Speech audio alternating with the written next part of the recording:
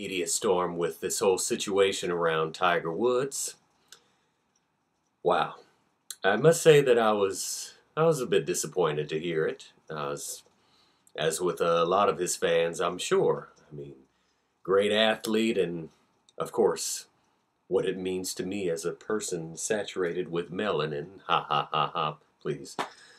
A, an icon is an icon, and whoever would uh, believe in their gifts and and just have a chance to be amazed by phenomenal talent and this talent being in the limelight and all the Reebok endorsements and or Nike or in the in whether with cars the whole thing is you know he's been in the light for quite some time now but this new light that he's been in due to certain choices, multiple choices that he's made, has put him in an interesting position. But it's it's interesting to me that media or so much time is being put on you know focusing the issue and and and sort of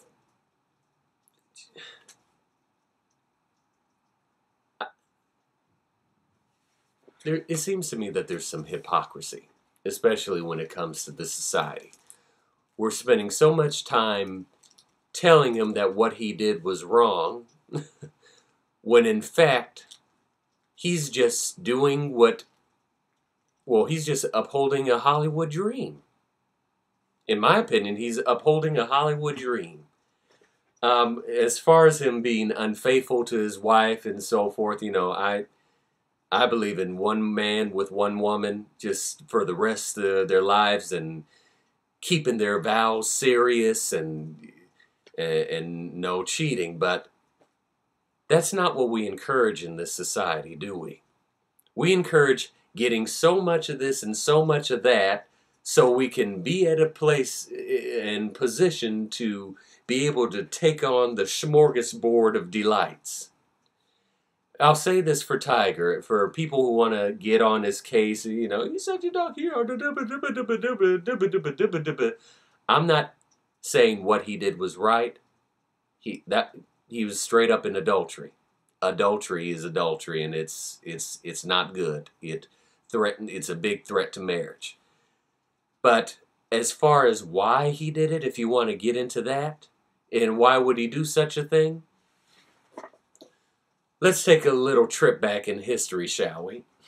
or just meditate on kings of the past who did some really kooky things, you know, from different lands and so forth. Men of power have always, especially kings, like Kings David and Solomon, men of power have always had uh, their extra wives or their extra affairs or their extra concubines, as that as how they were put, and uh, uh, and it was just another accentuating thing to their holdings and their sense of value and, and, and prowess is based on how many different women they could have. We live in a society today that tells us or tells men that you're not a complete alpha male until you've had every good looking woman on the planet go through your bed. That's the, you can't tell me that's that's wrong. You can't tell me that every VH1 male icon with his big muscles and prowess. It's funny. I laugh at shows like the Tool Academy.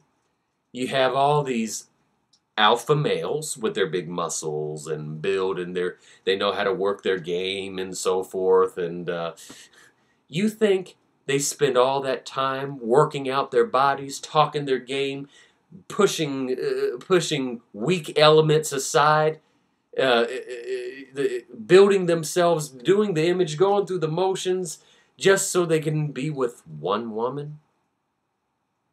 No. They'll go with the whole Victoria's Secret roster if they were given the chance. Especially if that Victoria's Secret roster of girls were telling them, uh, you look good and all this stuff. We're, we're, we're not taught in this society to value one, one man uh, monog- monogamous relationships. We're not taught in this society to to uh, be faithful. We're taught to bang as many different people and some in certain cases things as we can.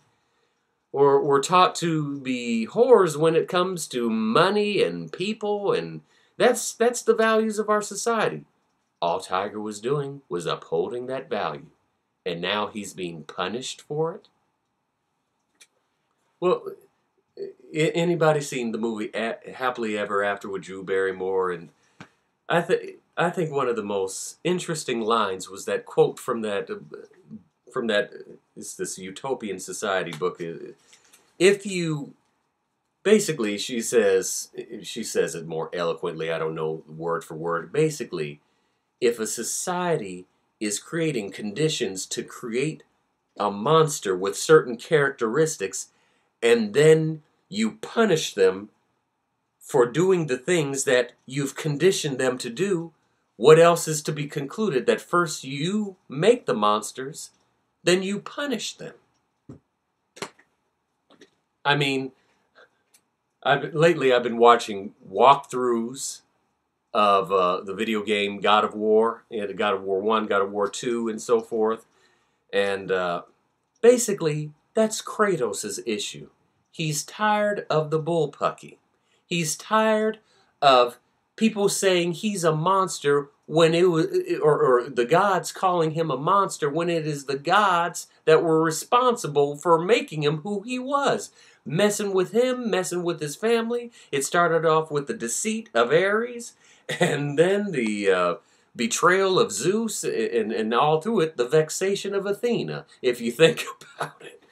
But, you know, there's there's just ethics in how you should treat people. but of course, speaking of ethics, what does this society know about that? I mean, it's been said that a lot of the things we call bad are really good, and a lot of things we call good are really bad. That's just the topsy turviness of where our society is right now. And um, I not not to be offensive, but it's it's kind of godless. I mean, at least there's certain virtues as charity and and and and long suffering and and bearing with one another. But what we we live in a society that takes meekness for weakness, and just topsy turvy. But Tiger was just upholding our core values as a society. If we want different results, we need to change our values.